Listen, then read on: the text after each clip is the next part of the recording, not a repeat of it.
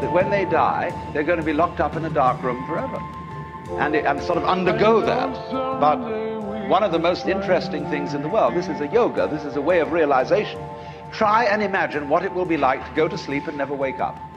Think about that. Children think about it. It's one of the great wonders of life. What will it be like to go to sleep and never wake up? And if you think long enough about that, something will happen. You will find out, among other things, that uh, it'll pose the next question to you. What was it like to wake up after having never gone to sleep?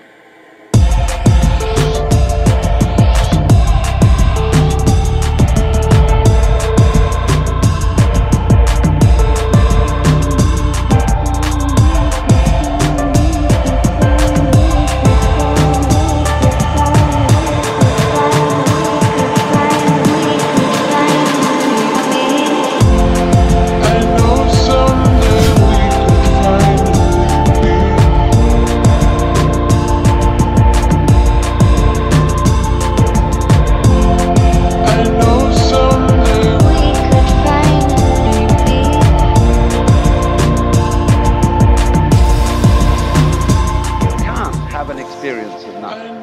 Nature abhors a vacuum. vacuum. So after you're dead, the only thing that can happen is the same experience, or the same sort of experience as when you were born. I know My name's someday Jacob